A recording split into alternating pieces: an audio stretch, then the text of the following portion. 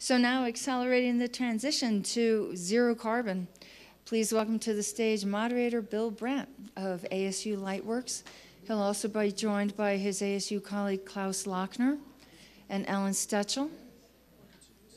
Also on the stage is Cheryl Martin of Harwich Partners. They've done quite a bit of uh, hard research on how to take carbon out of the air. I'm sure we'll be able to hear a lot about their uh, processes and how they've really devoted a school, ASU Lightworks, to this type of cutting edge research. Klaus, nice to see you again. Well, good morning, everybody, and welcome to the second panel on the energy or the transition to net zero carbon. So, uh, did any of you get a chance to go out and uh, take a short walk this morning? Anybody? All right, a couple people, right. Well, I have a dog and she takes me out. So I went out this morning and looked over to the west and there was this amazing moonset as the sun was coming up and I was just going, oh my gosh. And I forgot my cell phone. So I'm like going, okay. I've got five minutes to go back home, get my cell phone, come back out, and take that Instagram like picture. So I came back out and I walked up to the place where the moon was, and it was gone. I'm like going, oh my gosh. I'm used to thinking of I have five minutes to get a sunset or a moonset when the mountains are 30 miles away, but not when they're two miles away. So I began to realize that that was a situation where I was sort of thinking traditionally, my past experience, and here we are where I needed to be realizing I needed to move much faster and move quickly. So the purpose of this discussion is to sort of talk about, well, okay, uh, we know that we have to move quicker and faster, so how do we begin thinking about doing it so we don't get caught in the same place where I was, where I was thinking, I have five minutes for that Instagram picture, and I missed it. So, you know, we've had a wonderful discussion here in the last two days. Uh, some of the points that came out of the conference so far is activation is a key need. Wes Clark, in his opening remarks, talked about how do we find ways for people to get in and activate and actually start moving rather than just worrying about things. Photovoltaics and wind, uh, now the low cost energy, or you could think of them as primary energy. We heard about the need for storage. We heard about how in Australia there's taking steps to actually say we need to think differently about how we're going to solve energy, including hydrogen. We talked a little bit about ammonia. And we talked about how we might actually use this amazing energy system that we currently have. We also talked a little bit about how we can de-risk some of that technology because although the markets are really interested in saying, you know, I'd like to do green, but I want to make money, there's a question of how we de-risk this pipeline. And so can we think about how we accelerate innovation and get to manufacturing at a scale like our current automobile industry? So those are some things that we've been talking about this and what we hope this panel will do is investigate these ideas in a little more detail and leave you with some thoughts or ideas about what we're going to do with a big market, how we're going to reuse and recycle and use our existing system, and how we're going to need more players to get in and de-risk so that we can actually get to scale. So um, on the panel here, I have, uh, starting with Cheryl Martin, who's uh, returned to the United States after three years as a member of the managing board of the World Economic Forum where she was responsible for a range of business and innovation initiatives. Previously, Cheryl served as the acting director of ARPA-E and respons was responsible as the deputy director also for commercializing their Tech to Market program. Ellen Stechel, who's next to Cheryl, is a professor of practice at ASU and a co-director of ASU Lightworks. Ellen's built a career on science and technology within both basic and applied research with uh, opportunities to um, work at Sandia National Laboratory and Ford Motor Company, amongst other things. Klaus Lackner, who's seated here to my immediate right, uh, is a professor at ASU, uh, leading the Center for Negative Carbon Emissions. Klaus is a trained theoretical physicist, worked at Los Alamos National Laboratory, uh, was at Columbia University and now Arizona State University. Klaus's research interests include uh, closing the carbon cycle. So what I'd like to do is uh, get my panelists to talk for a few minutes about their ideas on this theme, and we'll start with Klaus. Well, thank you. I, I really, by the way, liked your analogy about the moonset.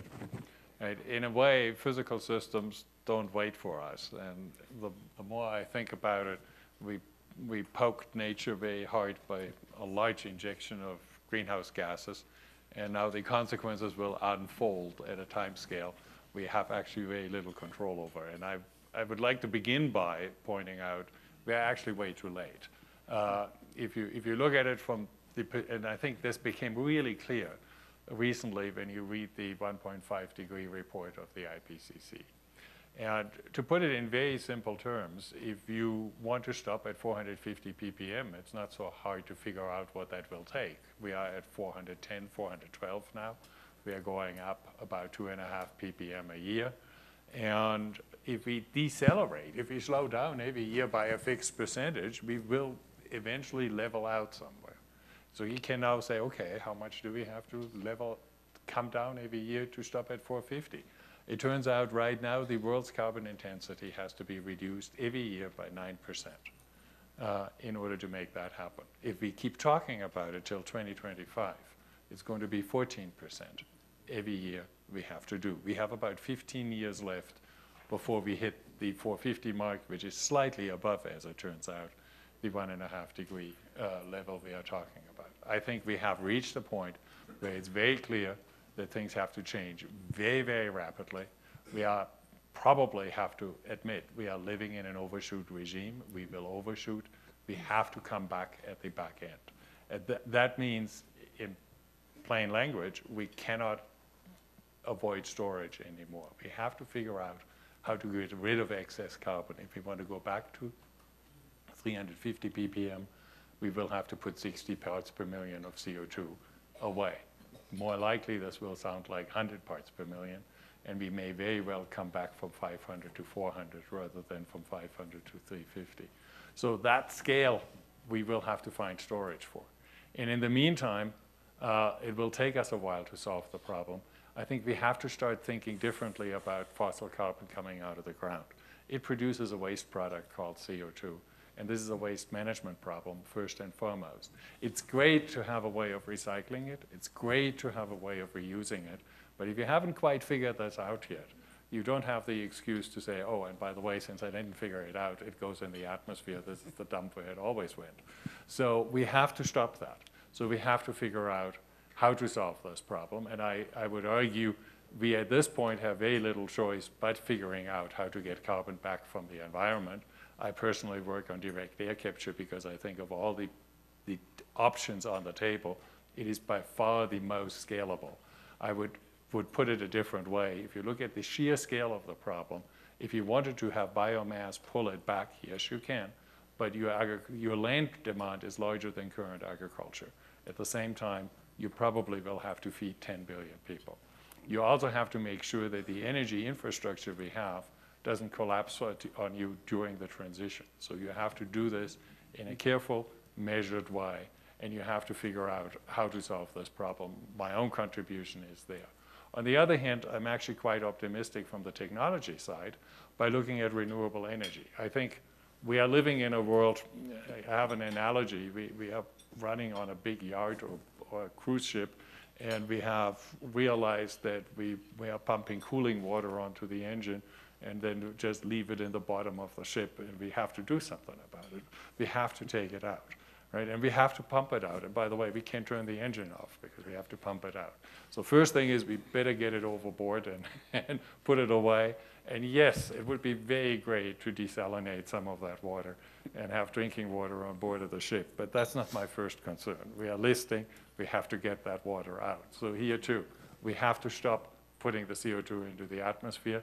We have to figure that out immediately. We have very few years left, and we have to keep doing this probably for the next 50, 60 years, simply to get back to a safe territory. In the meantime, we will have done real damage. But the optimistic part is we have now renewable energy. And I would argue photovoltaic energy, in the meantime, has gotten to a price where it is close to not just competing, I think it will tip over in the next couple of years, in the next few years. That solar energy, photovoltaic energy, is actually cheaper than what you can do with a photo with a with a fossil fuel plant, and that's not when the fossil fuel plant just pays for its its levelized cost, but actually the dispatch costs. Solar energy in midday will stop fossil carbon plants from running, and that will be a revolution. We have to figure out how to do that in a stable manner. And I think one of the things it does, it, it makes you start thinking about photovoltaic energy not as something which goes into the electric grid, but being truly primary energy. So a large fraction of it actually will not get into the power grid because the power grid doesn't know how to handle it, but instead makes hydrogen. That hydrogen we can, can convert with the CO2 we are taking out of the atmosphere anyhow into liquid fuels. Those technologies have been around since the 1920s. They have never been used, petroleum was too cheap. But when we put a price on carbon, this becomes competitive.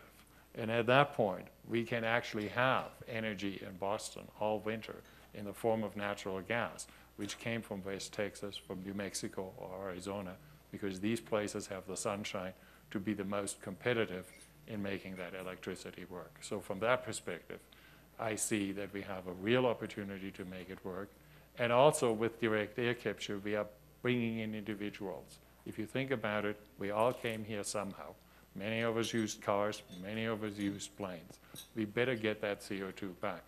And having a button at the pump where I can say, for 20, 30 cents extra, I'll get my CO2 back might very well be a start before regulators figured it out. This is how we started recycling, and this is how we stopped littering.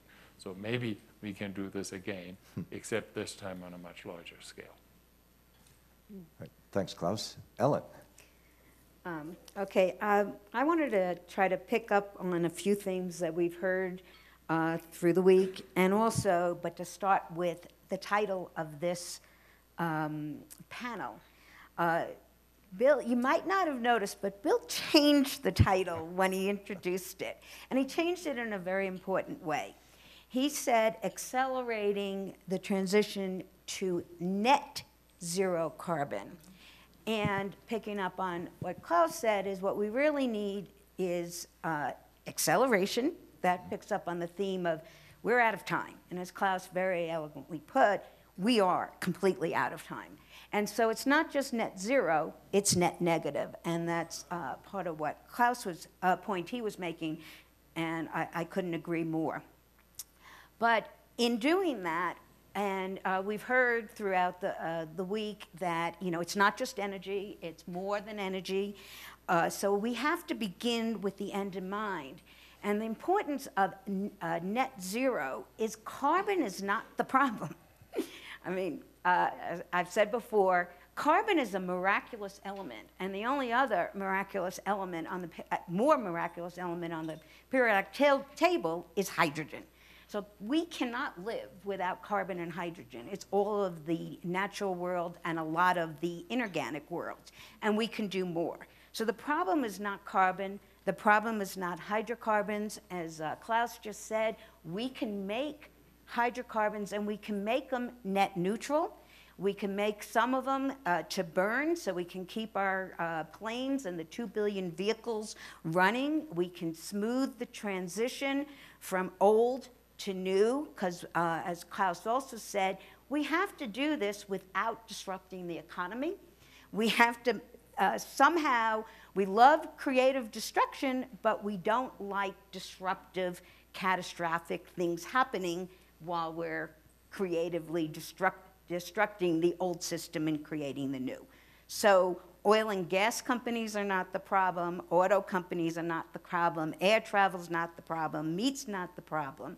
We have to solve the problem of balancing the carbon cycle.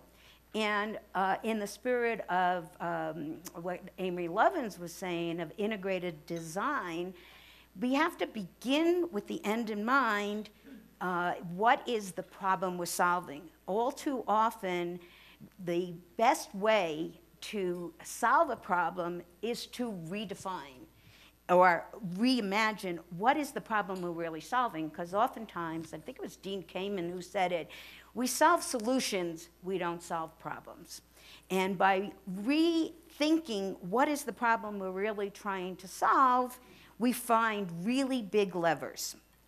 And uh, there's also a, um, you know, in that systems thinking, when we optimize at a subsystem level, like uh, Amory said, if we just try to make the engine a little more efficient rather than lightweighting the vehicle, we're optimizing at a subsystem, and therefore you suboptimize at the full system. So, system thinking and finding big levers. So, another thing that was said this week that I loved is making the impossible possible. As physicists, I still believe in, you know, unless it tri- truly uh, violates the laws of physics. But er- very oftentimes, it isn't that we violate physics. When we're making the, possi- the impossible possible, is we found an artificial constraint to remove. We've, um, I think it's uh, Amory said, you know, like the, the, the dot problem, getting outside of the box. Okay, rethinking the constraints uh, is how we make the impossible possible. So uh, we said it also uh, in, the, in the panel yesterday. It was said, what, uh, what changed in uh, making hydrogen more real today? Um, I don't know if, uh, how many people saw the, the movie on Wednesday night, The Age of Hydrogen. Well, that movie was actually made 15 years ago. And 15 years ago, or two decades ago, we were very enthusiastic about the hydrogen economy, and we thought we were on the verge until there was, well, we need four miracles. Well, now, in the interim, a lot of things have changed, but now we are on the verge of having made the impossible possible, those four miracles, and we have a quiet revolution going with hydrogen. Um, so, in the spirit of the title Accelerating, as uh, Bill, with his beautiful analogy, and Klaus said, we're out of time. So, but disruptive innovations, innovations all along, along the pipeline, they do take time. There's nothing we can do about it. They, they take time, but we have to start accelerating. We can't stop innovating. We have to start deploying existing innovations and keep innovating. But we do have a few levers to take advantage of in accelerating. We've always found throughout history um, that it takes about two decades to get, uh, get innovations from the lab even into early deployment, getting it de-risked. We fall into all kinds of valley of deaths. So a lot of what we heard about, you know, from Prime uh, is great. You know, finding, you know, financing for to get across some of those valley of deaths, but still, it takes time. But some of the um, disruptive technologies that we can take advantage of, some of that making the impossible possible, are things like ubiquitous computing, artificial intelligence, machine learning, big data, additive manufacturing, 3D printing, rapid prototyping, the Internet of Things. It, it, seems we are on the verge of some serious disruptive technologies that at least we can start accelerating, not, not taking four decades uh, to get to scale. But uh, from the lab, can we do better than two decades? I don't know. but we do need to accelerate. And we need to accelerate innovations all along the pipeline. So on integrative uh, design thinking, we, um, when I was trained at Ford Motor Company, we called that value engineering. I, I'm not sure if it's exactly the same, but it has a lot of the same principles. You know, begin at the end. What is the problem? What is the service that we're trying to provide? And rethink, can we do that differently with less resources? Um, another statement that was made uh, that I also uh, got me thinking everyone wants to change the world, no one wants to change. Well, I would just tweak that a little bit is no one wants to make sacrifices, no one wants to take risks. Some of those may be perceived We used to say perception is reality. I like to say perception drives reality. But if people are perceiving it's a sacrifice or it's a loss, we call this no takeaways. When we're trying to re envision how do we get to sustainable mobility. No takeaways. And also, it's not just a utility. What a lot of people, what we found through a lot of uh, social uh, research is it's, it, it's the experience, not just the service, not just the utility. So, net zero, net zero, uh, negative versus, uh, so a lot of, and I think what one of the things Klaus said is it's the fossil carbon we have to uh, eliminate. A lot of that is avoiding emissions.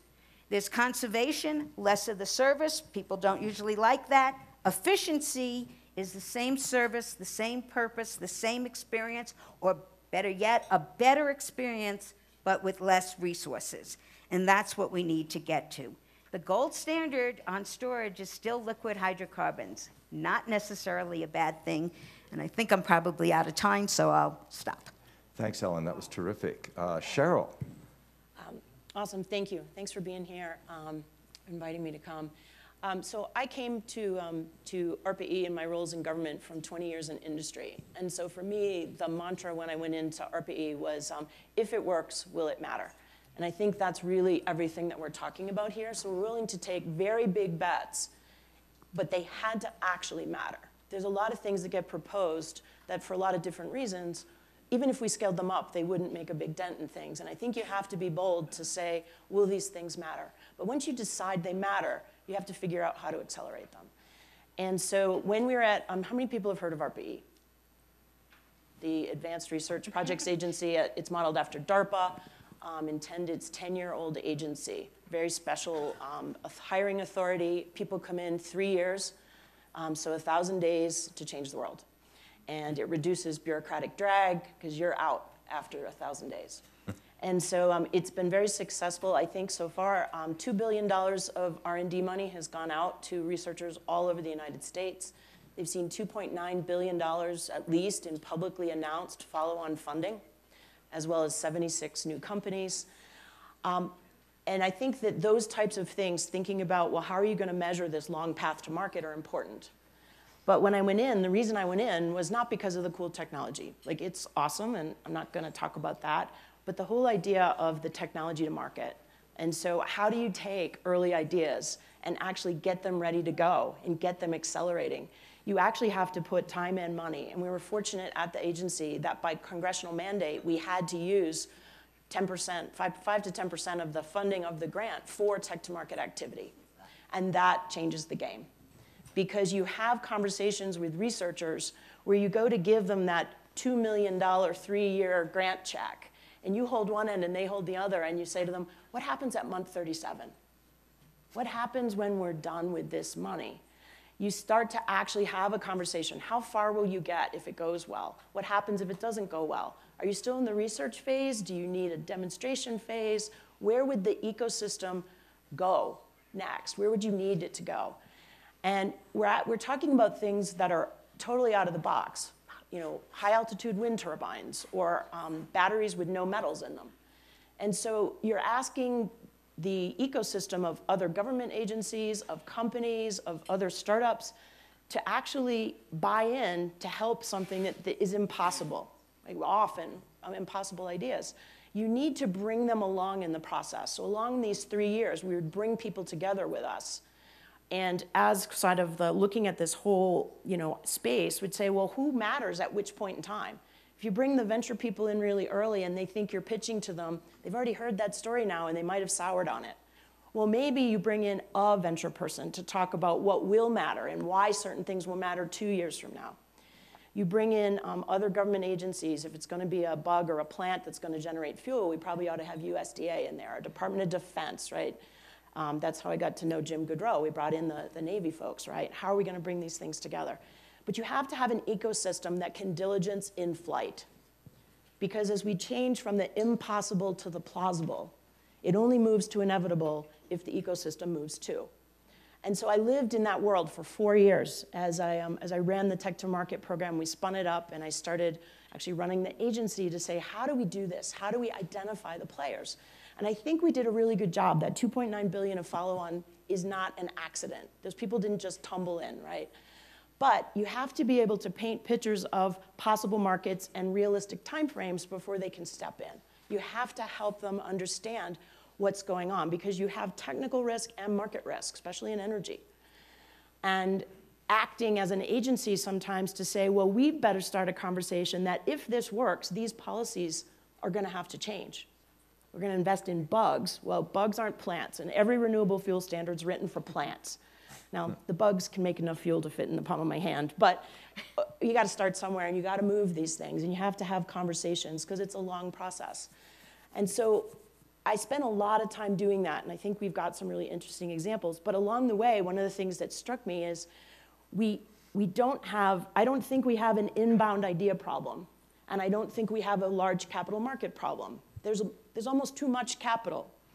I think we've marketed it to death because we have so much capital. It's green and it's, it's ESG and it's, you know, it's got all these labels and I don't think they speak to each other very well. So I think that could use some simplifying.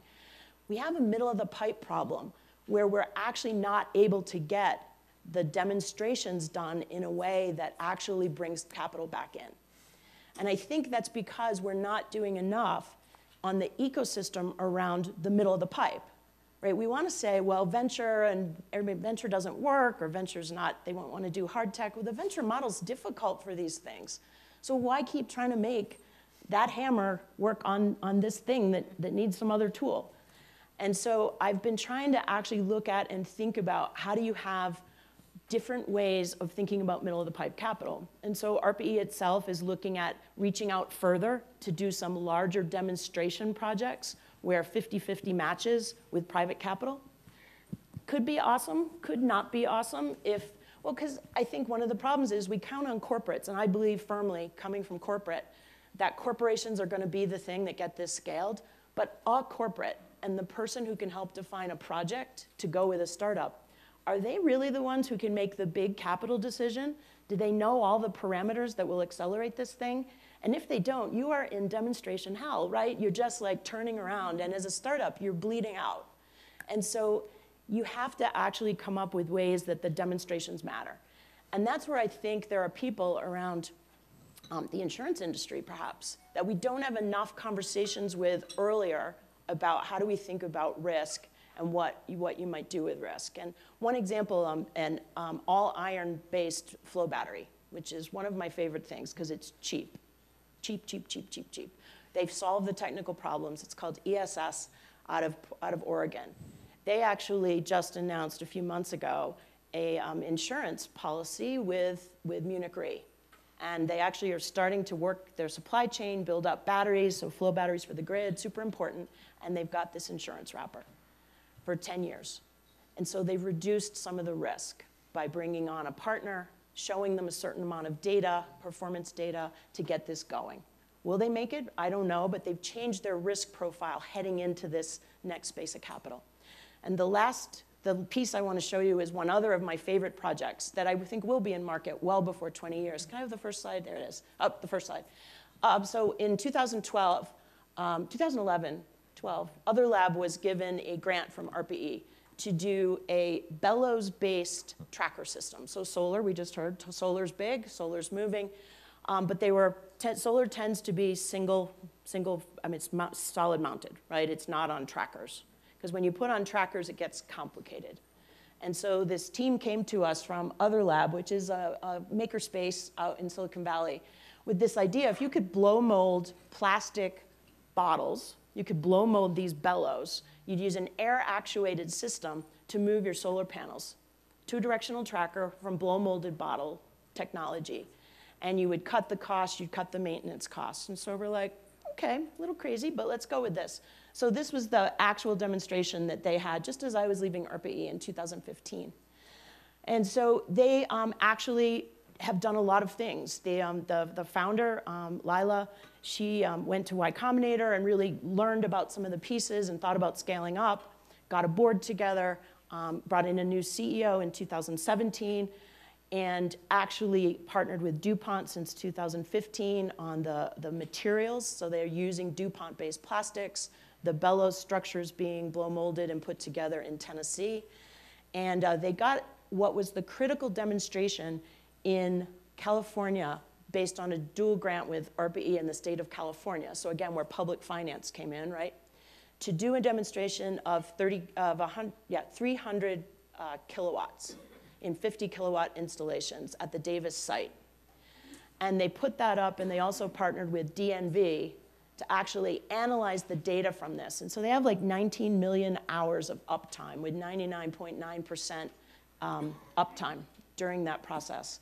And they've been able to write a bankability report for them. And in doing so, they now have um, good backstop finance.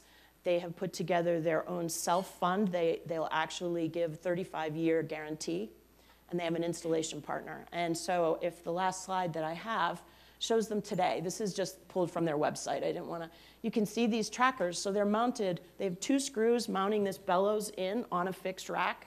You can fill your space better. You can do 50% faster installation. You have much lower costs of, um, of maintenance. You're basically changing air filters in your pneumatic air changer.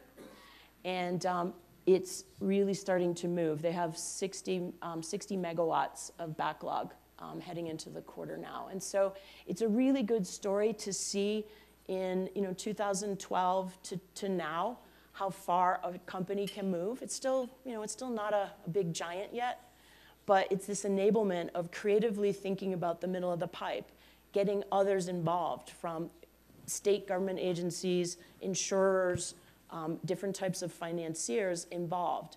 And so I think if we extend this ecosystem conversation more and more around the middle of the pipe, who could be involved? Where each of you, based on what you do, could be involved earlier in conversations to help us do better demonstrations that you'd be willing to write a check for, right? There's asset owners. We saw Macquarie Capital come in with their new design studio. They have a venture design studio.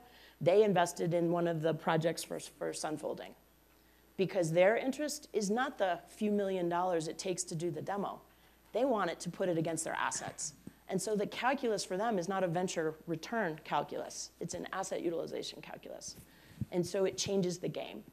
And I think folks like Macquarie are going to start to come in. They've invested in a drone company that can do 4D depictions of, of construction sites, so 3D over time, so you can see flaws and go back and fix these things. So improving efficiency. We were talking about building efficiency yesterday. So there is awesome stuff going on, and it can be more awesome and go faster if we don't think linearly about how this comes together but bring it in more and earlier into the conversation about how do we re reduce and manage risk. And because to me, that's all this is about, is the risk return calculus. And anytime it's, you know, it's like managing your portfolio. If you've got something that's non-correlated risk for somebody else, they're going to come in with a different view of what that return is. And perhaps it'll work in your sector or not, um, but I think it's worth the conversation. And I think we're starting to get there. So thank you. That's terrific. Well, I sort of have one question. This is all about new partnerships and new ways of doing things. And Cheryl, you've got us off on the start. And maybe Klaus and Ellen, you could both uh, say, you know, tell us briefly within like a minute what partnerships you're working on that are outside of the traditional university approach. Well, we, uh, you have had me here before, and I talked about direct air capture and the importance. It goes exactly to what you said. When I started working on air capture, I said, this is very unlikely to work. But if it works, it's a game changer, and it's a big game changer. And so then I stumbled into this observation that we do wind windmills. And if. I mm-hmm. price the kinetic energy in the wind at five cents a kilowatt hour, your average cubic kilometer where you put a windmill at six meters a second has about $300 worth of kinetic energy. If I give you a tipping fee of $30 a ton of CO2, uh, that same cubic kilometer carries $21,000 worth of CO2. And that, that simple calculus made me say it's worth pushing this and work it out. So now I can say we are now working with a group in, in Ireland, who Silicon Kingdom uh, Holdings. They have they want to build our particular design.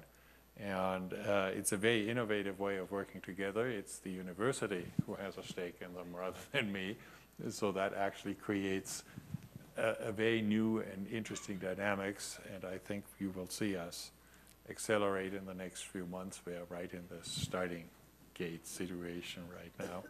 And their goal is in, in very short time to get to small-scale commercial markets because people do buy CO2 to fill fire extinguishers and feed greenhouses and all sorts of things. And that CO2 is typically worth a lot more than $100 a ton of CO2, but it's a tiny market. And the point I would make, direct air capture, every time it doubled, reduced its cost by 20%. If we can do this too, and Climeworks, one of the competitors in the space, has sort of put a marker up at $500, and maybe the world is at a kiloton. That doubling every, that doubling being 20% says if you grow a thousandfold, you should be 10 times cheaper. So we should get from 500 below $100 a ton as we go from kilotons per year to megatons per year. Now, I don't want to make predictions what happens as we go from megatons to gigatons, where is where we eventually will have to be, because clearly that curve somewhere has to level out. But my, my point is, if we can feed those little commercial markets in the megaton scale, uh, we have a foothold which is actually commercially working, and that's a big accelerator. What, now, from there to the full scale is huge. Ellen, some thoughts? So uh, I, I really like that concept of, and, and that's the way we operate and how we operate at Ford, is, is first ask the question, if you're successful in, in, in your achievement, will it matter?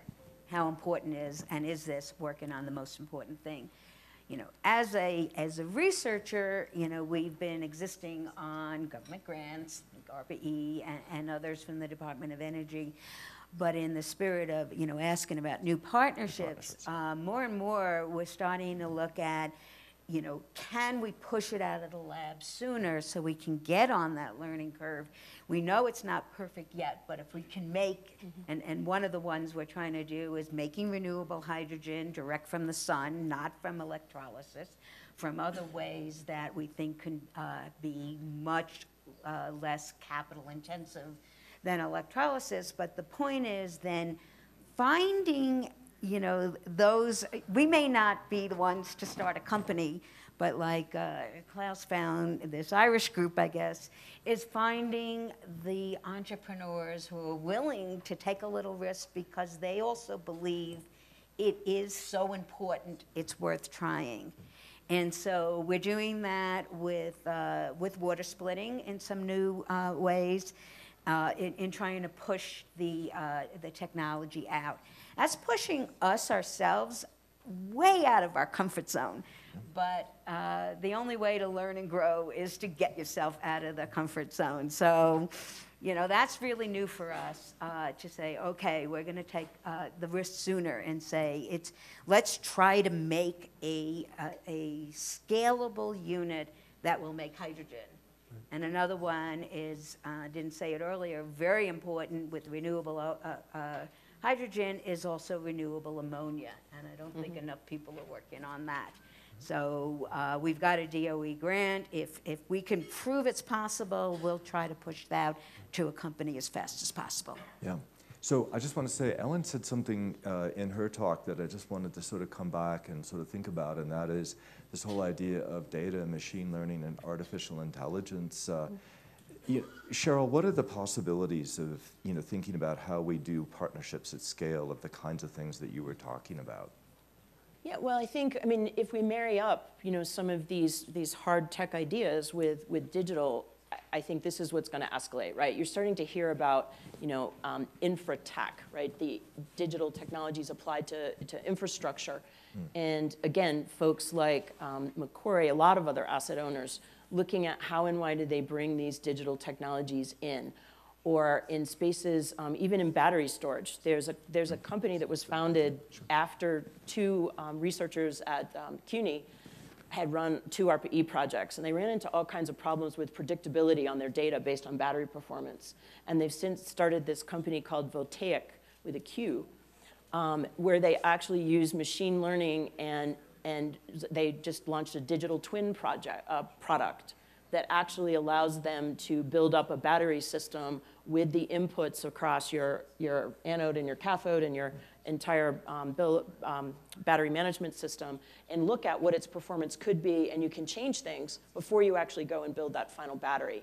And so it takes all the data because battery researchers have a lot of data and part of the problem sometimes is that they selectively look at some of that data. So I think having a, a system and a, a, company that's really looking at and enabling researchers to look faster at a digital twin will make them more effective at moving stuff forward. So I think that's going to accelerate things as well and will bring new partnerships that um, I don't think that historically the wet chemists and the, and the elect electrochemists have partnered as well with the, the people who are doing the, the IT systems. And I think that's going to change everything. It's going to change a lot, right. There- How's- there- There's another reason why I think IT in general and automation specifically will play an enormous role. One of my students was involved in looking at various learning curves for different things. And one of the things we found was an incredibly strong correlation between the size on which you operate mm-hmm. and the, the scale, the rate at which you can learn. And by the size, I mean the physical size of individual mm-hmm. units. So you, cars are very, very large, large in the terms, sense that they are billions, but individually they are tiny compared to power plants. But the learning curve in small things is much faster than in large things. The moment you say that, you are sort of committed to think of these new technologies as being lots of small things. Mm-hmm. And you cannot make that work unless you get to an enormous degree of automation.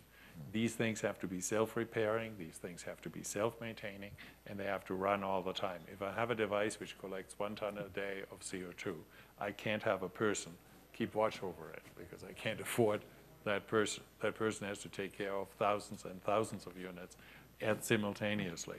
So I think that's important, and the learning curve, I think, is what will accelerate us. Yeah. When- you- I you- think that as you look at these learning curves coming down and the costs coming down and people's comfort level, we talked about people adopting technology. I think there's some really cool things out there. Like there's some new experiments, uh, new demonstrations going on. The company, I think it's called P3.